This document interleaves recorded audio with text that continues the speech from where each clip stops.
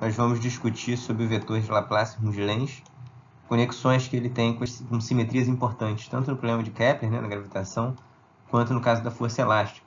São vetores de Laplace-Rougelenz diferentes, como a gente vai comentar. Essa primeira parte a gente vai estar preocupado com a gravitação, e a teoria da gravitação universal é um dos primeiros marcos, principais marcos da história da, da ciência. É, é, tão importante que, você olhar ao longo de vários vídeos, a gente discutiu diferentes características, com diferentes enfoques. Esse problema, é, do ponto de vista histórico, foi a primeira grande unificação da história da física, né? mostrar que as leis celestes são também válidas, é, as mesmas leis, mesmo conjunto de leis que regem o mundo terrestre no curso de História vocês vão aprofundar esse debate, mas é, enfim, só para dizer que realmente é um, é um extremamente rico e muito moderno também, muita coisa importante ainda a ser estudada no caso da gravitação newtoniana. E é, essa teoria, ela é, historicamente, a partir de observações empíricas, Kepler enunciou as três leis é, dele do movimento celeste, e a partir dessas leis a gente viu como que a gente pode obter a lei de força que rege esse movimento, que é a teoria newtoniana da gravitação, dizer que essa força ela é proporcional ao inverso quadrado da distância e aponta aqui na direção de um centro de força, né? que é no caso, por exemplo, é o Sol e os planetas em volta do Sol sob essa ação de lei de força, eles descrevem elipses em que o Sol ocupa um dos focos. Isso tudo a gente viu em outras aulas. E como toda lei de força central, a gente tem a conservação, por exemplo, do momento angular, que tem a ver com o fato de que forças centrais não realizam torque com relação ao centro de força. Tem conservação de energia, as forças centrais são conservativas. Cada um dessas leis de conservação a gente explorou, a gente viu que elas eram muito úteis, tanto para compreender conceitualmente o problema, mas ainda também para conseguir aplicações, é, é, inclusive resultados importantes ali, matemáticos da teoria, a gente pode usar essas leis de conservação. Por exemplo, para achar a equação de órbita, basta a gente conhecer essas eh, leis de conservação. Então, peço para vocês verem lá nos vídeos anteriores esse debate. O ponto é que a lei da, eh, essa lei específica do 1 sobre r ao quadrado, além dela ter essas duas conservações, como toda força central tem, ela tem uma grandeza conservada adicional, que é o vetor de Laplace-Rougelenz. Então, a gente introduziu ele no último vídeo, mostrar no último vídeo, a ideia era discutir de onde vem, por que, que esse vetor é conservado, qual, é a interpretação dessa conservação.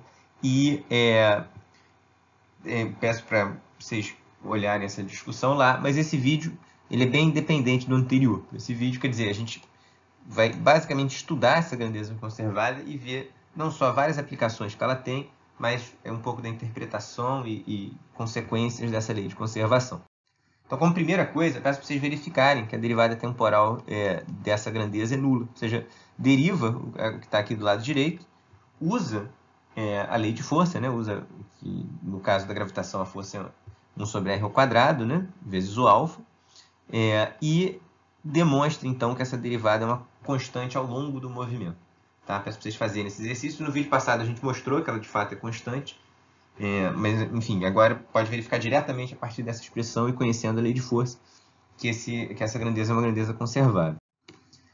Qual é a interpretação dessa grandeza? Bom, é, essa grandeza é conservada para o problema que é regido pela força que é inversa do quadrado da distância. Então, isso significa essa grandeza conservada para quando a órbita é parabólica, quando ela é hiperbólica, mas a gente aqui nesse vídeo vai estar restrito ao caso elíptico, que é o caso que ela acaba sendo mais usada. Eu vou deixar um artigo né, na referência do curso que mostra que ela também é muito útil, o vetor de Laplace-Rougelenz é bem útil também quando você tem outras órbitas. Né? Mas aqui a gente vai estar pensando no caso, sobretudo, aí, de órbitas elípticas, embora boa parte das coisas que a gente vai falar vale também para as outras órbitas. Mas, por exemplo, aqui no caso da órbita elíptica, esse vetor A, a gente viu né, no vídeo passado, vocês podem verificar no último slide, que o módulo dele é proporcional à excentricidade da órbita. Então, conhecendo o m, o alfa lembra que é a intensidade lá da interação, a força é alfa sobre r ao quadrado.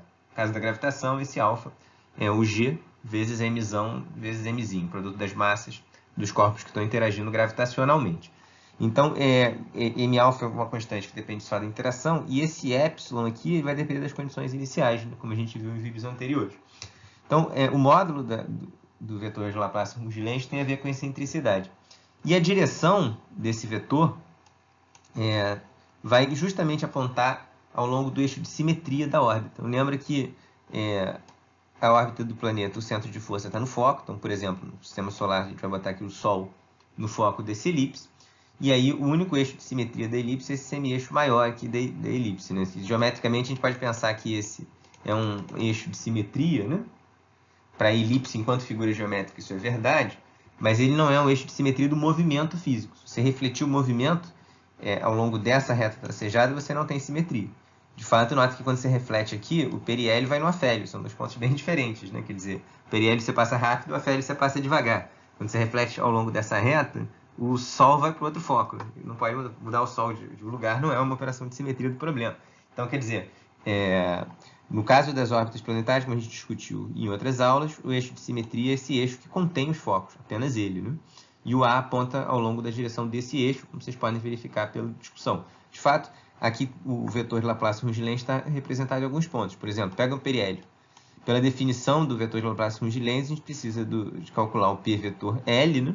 E esse p vetor L nesse ponto, quer dizer, o, vetor, imagina você está é, girando nesse sentido daqui, o seu vetor velocidade está para baixo, e aí é o seu momento angular para cima. A gente vai ter para fora, fora do plano da tela. Né? Fazendo esse produto vetorial, você tem aqui é, o, que esse P vetor L vai ser essa seta azul. Lembra que o vetor de Laplace Rongelens ele tem também que calcular esse M alfa R chapéu. Então aqui na figura que eu peguei emprestado do Wikipedia, o alfa é o K, tá? Mas esse K é o que a gente no vídeo está chamando de alfa. Então aqui também, o R chapéu é esse vetor que sai do centro de força, né? Então ele também está nessa direção. Quando você soma os dois, você vai ter, quando você subtrai, né, faz P vetor L menos MK R chapéu, você vai ter o vetor A nessa direção daqui. Conforme ele vai girando, a gente vai tendo que o P vetor L vai mudando de direção. Então, aqui esse vetor 4, em princípio, é difícil de fazer o cálculo, porque a gente sabe que o A é conservado. Então, P vetor L menos MK chapéu tem que estar na mesma direção. Aqui, quando está no afélio, também pode fazer análise. Então, fa façam, por favor, análise nesse caso. E, então, o vetor de Laplace Rongelens ele tem informações bem importantes sobre a órbita. O módulo tem a ver com a excentricidade. E a direção, ela aponta sempre é, para o periélio. Tá? Sempre para o periélio da órbita.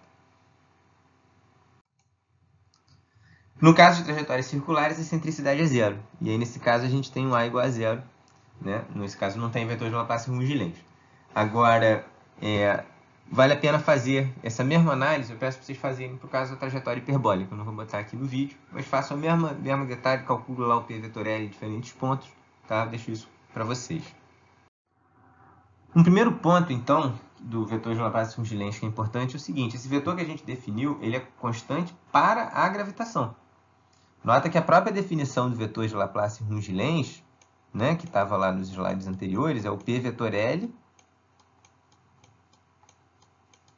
menos M alfa R chapéu.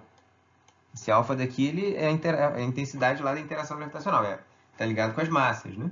Então, é, você vê que essa, essa, grandeza ela só é conservada para gravitação. E, de fato, se você tentar definir uma grandeza tipo essa para outras leis de força, você vai ver que ela não se conserva. Então, ao contrário do momento angular e da energia, que são conservados para todas as forças centrais, o vetor de Laplace Rongelens definido por essa expressão é conservado apenas para a força gravitacional. Agora, o que é interessante é que mesmo quando a força não é exatamente 1 sobre R2, é, ele pode ser importante. Um caso particularmente interessante é quando a força é praticamente 1 sobre R2. Por exemplo, o caso gravitacional mesmo. Imagina que você tem aqui o Sol está atraindo o planeta, mas tem um outro planeta também. Você não tem só dois corpos no sistema solar, por exemplo. E aí, esse outro planeta faz também uma força no corpo 1. Só que essa força F2, em módulo, é bem menor do que a força que o Sol faz. Então, isso é o que a gente chama de uma perturbação. A gente considera que, na situação em que a massa, como a massa do Sol é muito maior que a massa dos planetas, esse F2 vai acabar sendo muito menor do que o Fs. E aí, de fato, a força resultante no 1, se você puser a origem aqui no Sol, a, origem no Sol, você vai ver que a força então é menos 1 sobre R ao quadrado R chapéu. Tem aqui a ideia do centro de força. Essa segunda força ela vai estar centrada em outro ponto, que é então é, vai depender aqui da distância da R1 para R2. Então essa soma daqui não é uma força central. Cada uma individualmente é. A força entre dois corpos gravitacionais é uma força central. É, a interação gravitacional do 1 com 2 é, também é vai ser uma força central. A gente vai discutir melhor esse caso em próximos vídeos, porque quando as massas são parecidas, tem que mudar um pouquinho a discussão que a gente fez, o problema de dois corpos e tal, mas, enfim, a gente vai ver isso depois. O fato é que a interação gravitacional por si, ela é, é uma força central quando você está analisando a interação entre dois corpos. Mas quando você soma é, tem problema de três corpos, aí a força não é mais dessa, a lei de força não é essa. Se a lei de força não é essa, essa grandeza daqui não é conservada. Agora, quando esse, esse F2 é muito menor em módulo que o FS, aí você tem uma situação que você pode pensar o F2 como perturbação. Então, esse A ele é aproximadamente conservado. Informações sobre como A varia permitem você, eh, de uma maneira aproximada, resolver um problema de três corpos, que é um problema que, inclusive, não tem solução exata. Então, isso vai ser verdade quando você puder considerar aqui uma das forças como perturbação. Se elas têm a mesma ordem de grandeza, aí já começa a não ser muito interessante você olhar para... Enfim, não, não, se aplica esse raciocínio perturbativo. E aí o vetor de Laplace-Runge-Lenz, ele não é nem aproximadamente conservado, ele já não é muito útil. De maneira é mais geral, é, sempre que você tiver que a segunda é, lei de Newton pudesse ser escrita dessa forma, então é uma interação é, 1 sobre R ao quadrado central com uma perturbação, ou seja, de maneira que o delta F seja sempre menor do que alfa sobre R2 para todos os pontos da ordem, você pode pensar que esse delta F é uma perturbação. Tem zilhões de coisas aqui. Não só o problema de três corpos, como eu mencionei, mas muitos outros. Isso aqui pode ser, por exemplo, você querer primeiras correções da relatividade geral. Você falar, olha, a gravitação ela não é perfeitamente newtoniana. Tem um efeito aí, uma correção de relatividade geral. Em vez de você precisar pegar toda a teoria da relatividade geral, que é uma teoria mais avançada, mais complicada, se for uma correção pequena, você pode tratar isso como uma perturbação à força newtoniana. E quem tiver interesse depois eu posso passar algumas referências, a gente não vai explorar muito isso no curso, mas isso é uma coisa que por si só é um debate muito rico aí, né, é, envolvendo, e o vetor de Laplace Lenz ele é bem importante, porque aí, como isso aqui é uma perturbação, o DADT não é mais zero, mas agora, calculando quanto que ele varia, você pode então é, ter a informação de quanto que a órbita está variando. Uma primeira correção desse ΔF pode ser ir girando é, a elipse, por exemplo, que tem a ver aí com o problema lá do avanço do periélio e tal. E aí ver como que o DADT varia, como a direção do ar ela dá é, ali a direção do periélio, você vai ver como que o periélio está avançando ou, ou, regredindo, né? É, então, tem muitos problemas que caem dentro desse, desse escopo. Você pode ter uma situação em que é, esse plano da órbita está mudando. Então, tem várias aplicações. Quem tiver curiosidade no curso de Mecânica Celeste pode se estudar isso melhor posso passar referências. Aqui para a gente vai ficar mais com uma discussão geral. No, eu vou passar no, no, questionário alguns exercícios que vocês podem aprofundar isso um pouquinho. É, e quem quiser depois a gente pode ir na, no encontro síncrono discutir melhor. Agora, vamos conectar isso com a discussão sobre constantes de movimento. Né? Então, uma constante de movimento ela é qualquer função f, de tal maneira que, se você derivar essa função f e calcular essa derivada ao longo do movimento, isso aqui vai dar zero. É, isso é a definição de uma constante de movimento. Então, nota que essa, essa, função de movimento ela pode ser função de posição, velocidade, ela pode também depender do tempo, em princípio, explicitamente. O importante é, quando você calcular a derivada dessa função, e aí quando você, o tempo passar, o x vai mudar, o v vai mudar e o t vai mudar, mas essa combinação do f não muda. Se isso acontecer, o f é uma constante de movimento. Então, nota que é bem importante você calcular como é que o x muda quando o tempo passa. Você tem que ver isso ao longo do movimento. O que é ver isso ao longo do movimento? É usar é, a segunda lei de Newton, essencialmente. Então, quando você derivar aqui essa função e aparecer derivada da velocidade e aceleração, aí onde tem aceleração, usa F igual a MA. Enfim, eu vou dar alguns exemplos daqui a pouco. É, e o ponto é que se você tem uma equação desse tipo, você sempre tem seis constantes de movimento independentes. São teorema de equações diferenciais ordinárias. Tem a ver com o fato de você ter 3 graus de liberdade nesse problema, que é xyz aqui, e de você ter uma equação de segunda ordem. Então, você tem 2 vezes 3, você tem 6 constantes de movimento dependentes. Quem quiser, depois eu posso dar, passar referência com demonstrações disso e tal, mas posso dar uma intuição no encontro síncrono. Mas o que a gente precisa aqui é desse resultado. E nota que, por exemplo, é, está ligado com o fato que você precisa de seis informações para resolver o problema. Quando você resolve uma EDO de segunda ordem, você precisa de 2 graus de liberdade para cada, né, de duas informações para cada grau de liberdade. Por exemplo, as condições iniciais. A razão matemática é basicamente essa.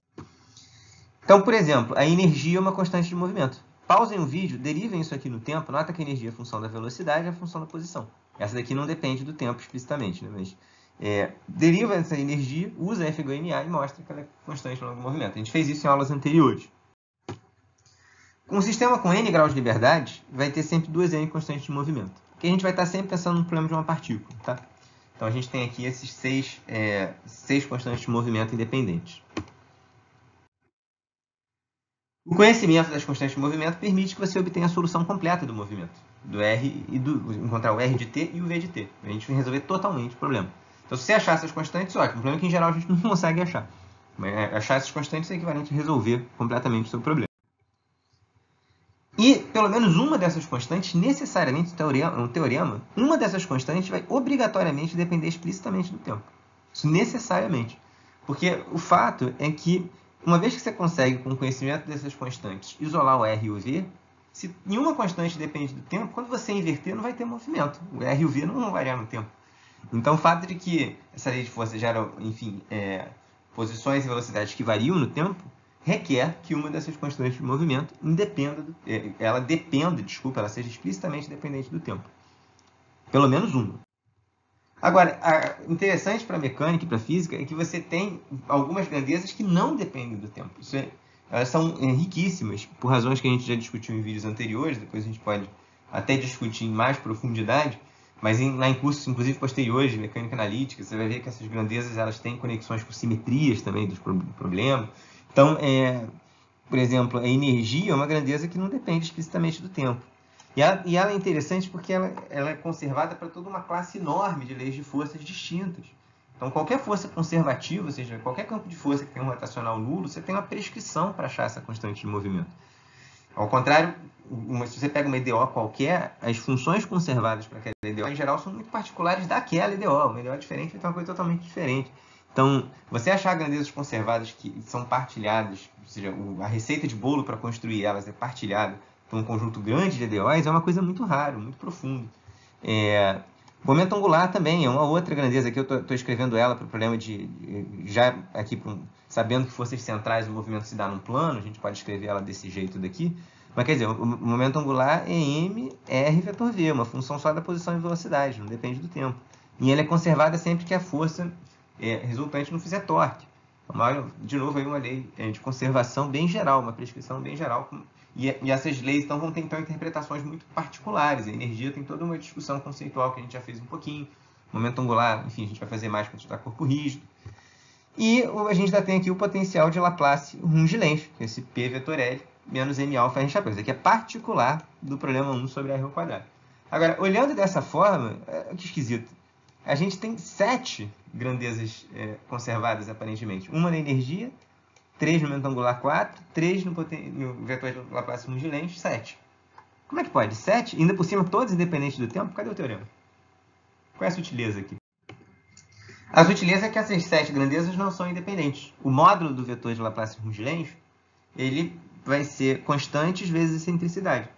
E conhecendo a energia e o momento angular, a excentricidade está amarrada que esse L é o módulo do momento angular, que é energia. Então a gente viu nos vídeos anteriores isso. Então, o módulo do vetor de Laplace de Lenz não é uma informação nova. Né? Outra coisa, o L escalar A é sempre zero. A gente tem esse vínculo. Porque o A está sempre num plano perpendicular ao L. Né? O P vetor L é perpendicular ao L. E o R chapéu, ele, ele, é, o movimento ele se dá no plano justamente perpendicular ao momento angular. Então, na realidade, dessas três informações aqui, só uma é nova. E aí a gente tem, portanto, cinco constantes de movimento dependentes do tempo. Como eu disse, isso é o máximo que a gente vai conseguir. Então, só para a gente fazer aqui agora uma interpretação conceitual, quer dizer, quais são as grandezas que a gente, quanto mais grandezas conservadas a gente tem, mais a gente consegue amarrar a solução, mais a gente consegue determinar quem ela é. Então, se você só conhece a energia no problema de Kepler, a gente viu em aulas anteriores que você só consegue saber qual é o semi-eixo da sua elipse. Né? Vamos pensar aqui, é, estamos pensando aqui no caso justamente de energia negativa. Né? A gente, como eu disse, vai se ater mais ao caso do movimento elíptico. Mas a gente não tem, a gente não tem informação sobre a excentricidade. Todas essas órbitas têm a mesma energia, como a gente mostrou em, em slides anteriores, em, em vídeos anteriores. Se você agora conhece o momento angular, você amarra a excentricidade. Você conhece o módulo do momento angular. Mas conhecendo só o módulo, você também não sabe a elipse. Você ainda pode girar essa elipse. Você tem todo um 3D de possibilidades. Quando você amarra o módulo, agora você é, quando você amarra, além do módulo do momento angular, a direção do momento angular, você agora diz qual é o plano de movimento. Então agora você sabe que essa elipse está em um plano, você pode chamar ela de XY. Então aqui o desenho ficou meio difícil de fazer esse desenho, mas o desenho anterior, do slide anterior, as elipses não estavam no mesmo plano. Agora nesse daqui está tudo no mesmo plano XY, só que você não sabe se a elipse está aqui ou se, você, se ela pode rodar por um φ, por um outro φ. Então só conhecer o E e o módulo e a direção do momento angular não te permite saber qual é a elipse totalmente. Mas se você tiver a direção do A, aí sim, essas são as cinco grandezas independentes do problema de Kepler. Ela, o A chapéu, nota que só chapéu. A informação do módulo do vetor A necessitaria de, enfim, é uma informação que não é nova, né? uma grandeza que está amarrada pelo E e pelo L. Bem, o conhecimento de três grandezas conservadas permite a redução do problema a uma quadratura. A gente viu isso no curso. E isso está ligado com o fato de que, se você tem três grandezas conservadas, você consegue escrever o r ponto, a velocidade, como função da posição e das outras três. Por quê? Porque cada constante de movimento é uma função de posição, velocidade e tempo. Então, é, se você usa essas equações, você se livra das três componentes da velocidade em prol das demais. Então, você consegue ter... Aqui tem uma discussão tornar isso mais rigoroso e sutil. Enfim, quem quiser eu posso passar livros mais avançados, mas aqui mais a intuição que eu estou preocupado. Então isso é reduzir o problema a uma quadratura. Nota que essas constantes, em geral, elas, elas dependem do tempo. Tá? Então, se você tem n graus de liberdade, você consegue... É, se você tiver apenas n grandezas conservadas, você já consegue reduzir a quadraturas. Aqui a gente está no problema de que a gente tem 3 graus de liberdade. Né? Então, com 3 constantes de movimento, você reduz então, aqui, disso daqui, você consegue resolver DO agora a partir de integrações, que é uma equação de primeira ordem. Então, a gente viu como faz isso em outras aulas. Agora, imagina que você tenha quatro constantes, que, de maneira que nenhuma delas dependa explicitamente do tempo. Então, esse daqui tem seis constantes no total. Viu que no máximo cinco não dependem do tempo. Cara, imagina que você tenha quatro que não dependem do tempo. Nesse caso, você consegue escrever o z agora como função de x e y. Ou seja, além de você já escrever velocidade como função da posição e de constantes, que agora a gente está supondo que não dependem do tempo, então a gente tem que a velocidade ela fica determinada pelo ponto do espaço que você está olhando, quando isso acontece. Você e se essas constantes independerem do tempo, dado o ponto de espaço, você sabe qual é a velocidade que passa ali. Nota que a energia é uma grandeza só. Então a energia ela já permite para cada ponto do espaço amarrar o módulo quando você tem conservação de energia. Só que só tem três grandezas independentes do tempo, eu consigo, para cada ponto do espaço, amarrar a direção da velocidade. Se você ainda tem uma além disso, você agora pode usar e escrever o z como função de x e y. Então agora o seu movimento ele fica restrito a uma superfície. Isso, a gente viu exemplo disso. No caso de forças centrais, quando você tem o E e o L conservados, você tem quatro grandezas independentes conservadas que não dependem do tempo. E a gente tem então um plano da órbita. Tá? Então, nesse caso, a superfície é em particular um plano, quando a gente tem essas quatro grandezas conservadas. Cara, olha o que acontece na gravitação. Você agora tem cinco constantes que não dependem explicitamente do tempo. Nesse caso, o movimento fica restrito a uma curva, não é mais a uma superfície, ele fica restrito a uma curva. Então, você só tem um grau de liberdade no fundo. Você consegue escrever o x, o y e o z como função desse, por exemplo, um ângulo, se você quiser, no caso da gravitação nas órbitas elípticas, vai ser um ângulo. Mas de um parâmetro só, seja o que ele represente. É, nas órbitas hiperbólicas também pode fazer isso. Então você tem que agora que essas órbitas limitadas elas são fechadas. Quer dizer, a órbita não precisa ser fechada, uma hipérbole não é fechada. Mas como você está restrito a uma superfície unidimensional, no fundo, a uma curva, você agora, obrigatoriamente, vai é, fechar a sua trajetória se ela for limitada. Esse tipo de, de lei de força que tem cinco constantes que não dependem do tempo são ditas superintegráveis. A gente viu no vídeo anterior que quando a gente tem essas cinco grandezas conservadas no problema de Kepler, a gente consegue encontrar a solução, encontrar a órbita, sem a necessidade nem sequer uma única integração. A gente resolve só projetando os vetores, está lá no vídeo anterior. Então, é, o problema de Kepler ele tem essa característica, as órbitas limitadas são fechadas para qualquer condição inicial. Pelo teorema de Bertrand, a gente viu que só tinham duas leis de força que geravam órbitas fechadas para qualquer condição inicial, desde que a órbita fosse limitada. Né? No caso da lei de, de, de Hooke, a órbita é sempre limitada. Mas em Kepler pode não ser, pode ser uma hipérbole. Mas só essas duas leis de força que, que fecha sempre a órbita. Então, em Kepler agora a gente entende por quê. A gente tem essas cinco grandezas conservadas. Quer dizer, a gente já tinha entendido por quê com a demonstração do teorema de Bertrand sem falar nisso. Mas aqui a gente está tendo uma demonstração complementar falando em energia. E aí, será que então em Hooke a gente tem uma constante extra independente do tempo? Então, para fechar, vamos fazer essa discussão agora da força elástica. Bem, toda força central tem pelo menos quatro constantes dependentes do tempo, né? que é, vai ser o momento angular e a energia, como a gente falou. Em Kepler, a gente viu que a conservação de momento angular, junto, é, ela implica na lei das áreas, e combinando isso com a lei de força, a gente viu que a taxa com que a força varia pode ser escrita como é proporcional só à taxa com que o ângulo varia. Porque o, o ômega, né? ele cai com r ao quadrado, assim como a força. E a gente viu que essa é a base, no vídeo anterior a gente interpretou isso em termos de espaço das velocidades e odógrafo. Essa é a base para você ter, construir essa lei de conservação. No caso de Hooke, o caminho é outro. O lance é que quando você tem uma força elástica, essa lei de força permite que você desacople as equações de movimento. Então, para esta lei de força, a gente tem que é, a equação em x e a equação em y desacoplam. E cada uma dessas equações é um problema unidimensional que a gente já tinha estudado. De maneira que você tem como se fosse uma é, lei de conservação de energia independente para cada direção. É... Então, nota que eu estou chamando aqui de A1, não quero chamar isso aqui de AX. Energia escalar não tem componente. Mas o ponto é que a gente tem agora uma grandeza conservada, olhando a equação só em x, e uma grandeza conservada olhando só em y. Ou seja, essa lei de conservação de energia, que é válida para qualquer potencial central, ela abre em duas quando a gente tem é, for, é, a, quando a lei de força é a lei de Hooke. E isso é, é, é o, a semente da ideia. Aqui já pode parecer que tem uma constante extra no movimento, mas na verdade não tem. Curiosamente, embora seja difícil demonstrar isso, fica como desafio, essas constantes A1 e A2, elas não são independentes da energia do momento angular. Combinando essas duas leis de conservação, você consegue mostrar que separadamente o A1 e o A2 são constantes de movimento. Mas elas apontam para a gente o caminho. Da mesma maneira que a lei das áreas ela não era direta, nova grandeza conservada, não podia ser, mas ela apontou o caminho para a gente chegar na lei de na, no, na constante de Laplace Rongilense. Aqui é a mesma coisa. A partir do que a gente tinha antes, a gente pode então olhar para esse tensor aqui 2 por 2. Por que 2 por 2? Porque a gente está no plano. Se a gente está no plano, o momento angular é conservado.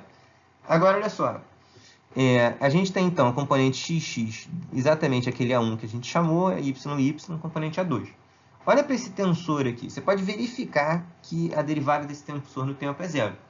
Tanto elegantemente derivando aqui nessa formulação né, que você faz, que é esse produto tensorial aqui do V por V, quanto olhando componente por componente. Então, esse, esse produto vetorial aqui significa, tensorial, significa só o seguinte, né?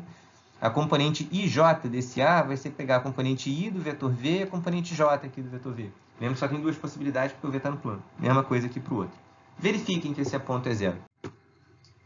E aí, usando essa grandeza conservada, fica como desafio, está lá no questionário, é, tem como você também, assim como a gente fez com a lei de Kepler, achar a trajetória sem precisar resolver nenhuma equação diferencial.